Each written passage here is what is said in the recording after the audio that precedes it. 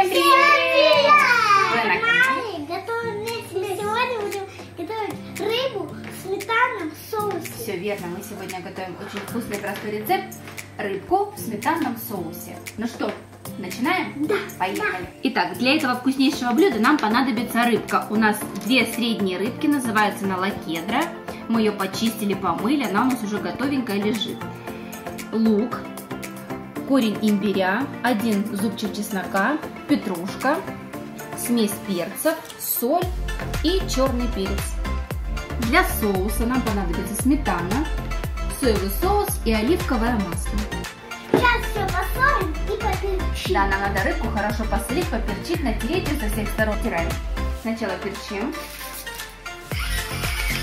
А Настюша солит внутри.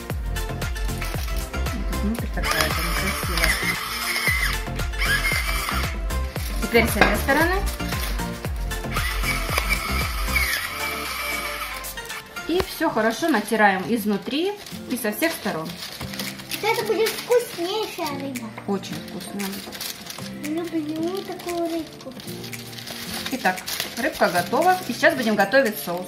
Итак, готовим соус. Для начала мы сме- смешаем сметанку с нашими ингредиентами. Смешиваем Вау. Стаканчик. Для взбивания помещаем сметану. Сюда же натираем один зубчик чеснока. Можно на чеснокодавке. Кто любит чесночка побольше, можно положить побольше. Также натираем имбирь где-то приблизительно столовую ложку на мелкую терку. И добавляем к сметане. Перемешиваем. Сюда добавляем пол чайной ложки смеси перцев.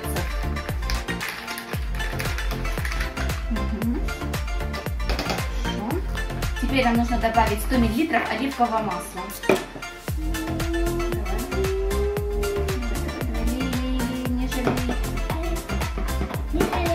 И 2 столовые ложки соевого соуса.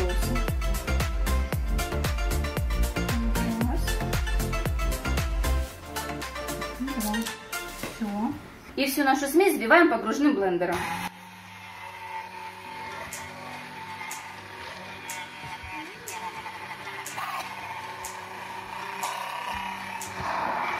Вкусненький соус готов. Да, наш вкусненький ароматненький соус готов. А сейчас мы приготовим луковую подушечку для нашей рыбки. Мы на нее будем рыбку укладывать. Надо кольцами, ну не очень крупными, нарезать лук.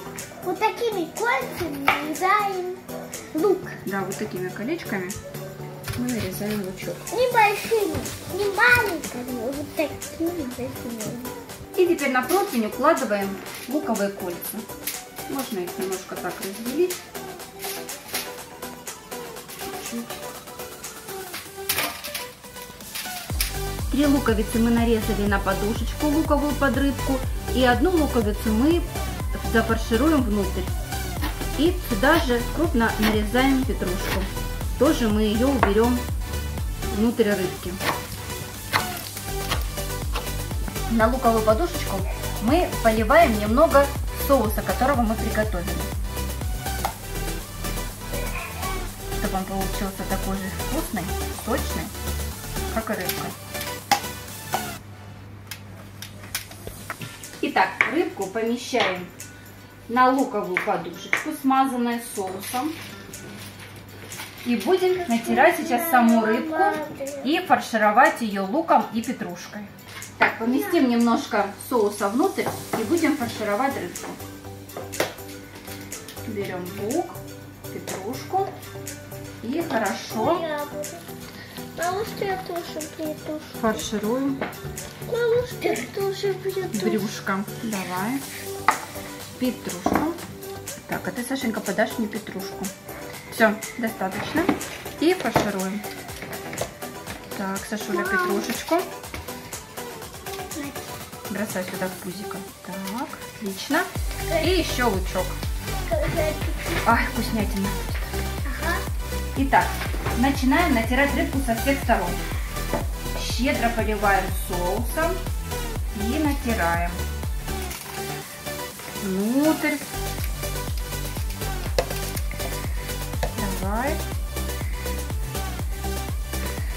Хорошо. Теперь сейчас немножко так вот повернем и с той стороны промажем. Хватит пока. Растираем, натираем. Хорошо, хорошо. Можно еще внутрь добавить, чтобы она хорошо пропиталась. С другой стороны. Давай с другой стороны. Хватит. Щедро, щедро, не жалеем соуса. Соус весь надо использовать. Рыбку мы укрываем фольгой. Сверху мы еще сейчас кусочек накроем.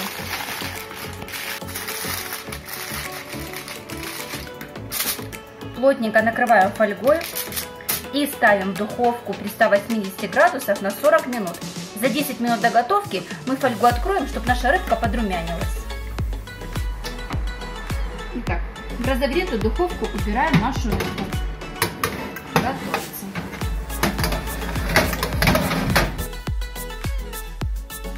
Итак, полчаса прошло, рыбку мы открываем за 10 минут до готовности.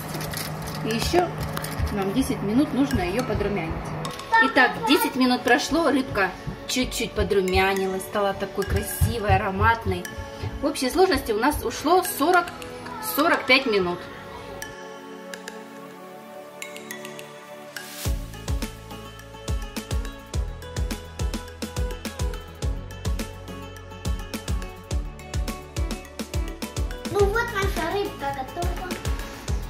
Ай, пахнет она просто нереально. Очень вкусно. Пахнет, не терпится уже скорее ее попробовать. Ребят, ставьте лайк. Ставьте лайки, пробуйте готовить этот рецепт, пишите в комментариях, у кого получилось и кому понравилось. Рыбка готовится очень просто, легко и получается нереально вкусная. Рыбу для этого блюда можно использовать любую. Чем меньше костей, тем лучше.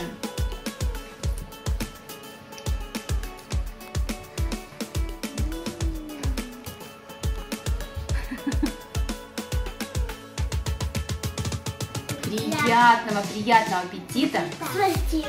Пожалуйста. Ставьте лайк. Пишите комментарии, кому нравятся наши рецепты.